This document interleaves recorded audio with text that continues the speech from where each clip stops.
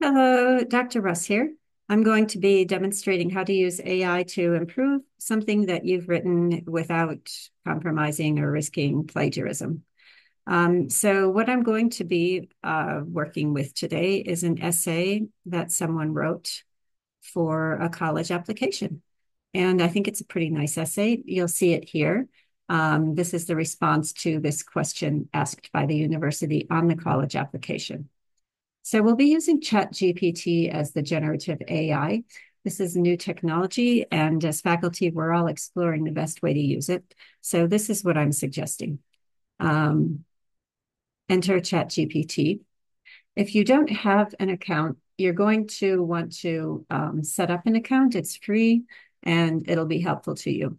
And the prompt that I would like you to use is this one list suggestions for improving clarity, grammar, and spelling in the paper below. I want you to get this list of us suggestions because if you don't, AI is just going to rewrite your paper for you. And that is what borders on plagiarism. So for these purposes, we're just going to list it. Um, I'm going to hold the shift key down and paste the paper in here.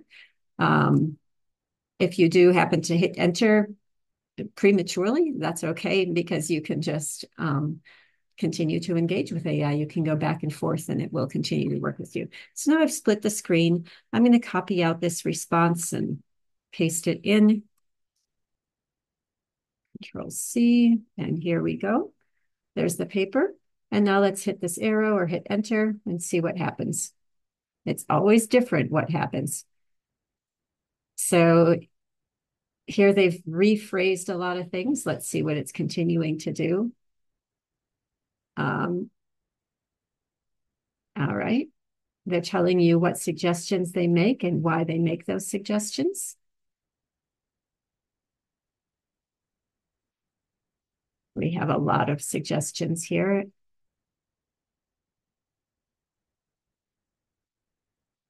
It's interesting because every time I do this demo, I get different kinds of responses. And um, are always risky because everything they're doing here is suggesting is bordering on plagiarism.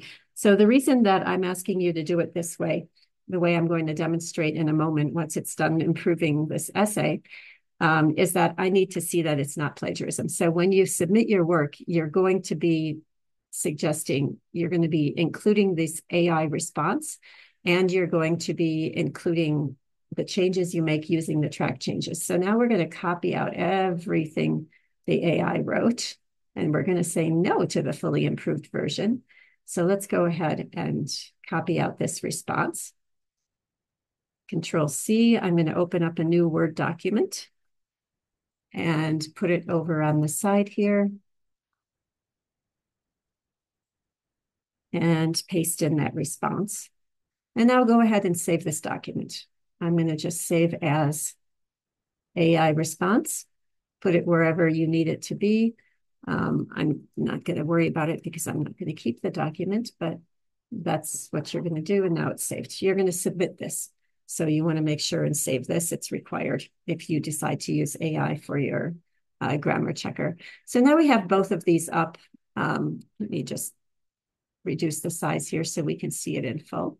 Okay, so here it is. Let's go back to what they say. Um, so they're suggesting all of these kinds of things. Um, what I think of when asked this question is how to respond without seeming like a self-centered person. That's the original. And this is the rephrasing. Um, when asked this question, I think about how to respond thoughtfully without sounding self-centered. So now you're going to think about this and do you think this is better? And if it is, what you're going to do is this. You're going to go to your editing menu I'm sorry, you're going to go to your review menu and you're going to click on this tracking button and you're just going to put track changes. All right, because I need to see what it is you're actually doing.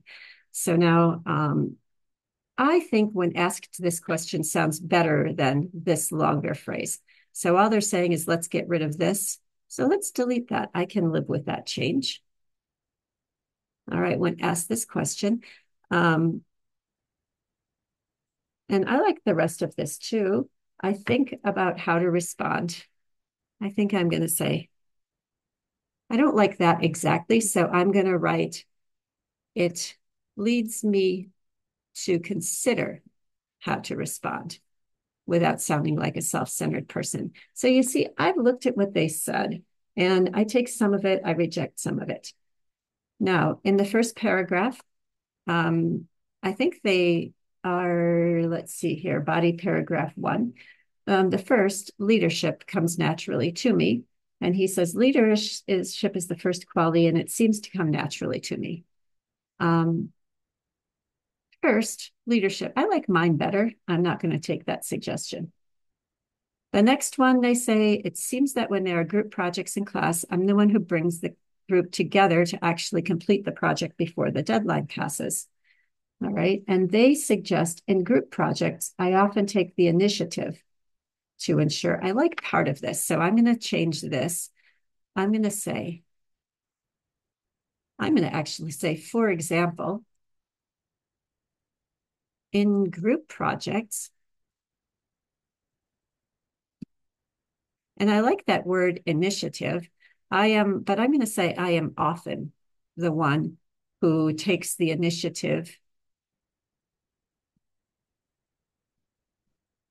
to complete the project before the deadline passes. So this is just a little demonstration of how you can use this AI. You're not doing copy paste, so that's a good thing. You're reading each thing they suggest and then considering it. And then there's some general notes in the end to make it be better. So the things they mostly found were tone and formality, um, using a more professional tone since this is a college application. And then simplify ideas, to avoid parenthetical asides. I might keep the parenthetical asides, you know, um, because they're kind of adding to the humor and the personality in this essay, which I think is what this person was trying to convey. Um, for example, down here, he wrote, um, this leads to another personality trait that will enliven the community, not that it needs enlivening. So I think there's room for improvement. And I also think that there's room for keeping some of what's here in the original. And that's what I want you to be doing when you use generative AI to improve your paper. What you'll submit for my class is this version with the tracked changes and the AI document here. So I need to see these changes. If you haven't worked with the review menu before, um, I'll return this to you with more comments. And then what you're going to do is um, if if I say, yes yeah, suggest I like it with all your changes, you know, then you're just going to do this and accept. And you can accept one change at a time, or you can accept all the changes in the document. So you'll see these options. You can accept them one at a time, or you can accept all of them and stop tracking. And what'll happen if you do this is if you accept all changes, you see it just incorporates them into your paper. Um, if you were to reject the changes, let's say I made a suggestion to you in the same way and you don't like my suggestion, you can reject a change too. So now if I didn't like this first one, it's going to start here. Let's go back to the original. Now it's going back to the original. Okay, so we could go down to which one it is. All right, that's the end of this demo. I hope it's helpful and I hope it helps you improve your writing, not just take on AI's writing and let it do the work for you.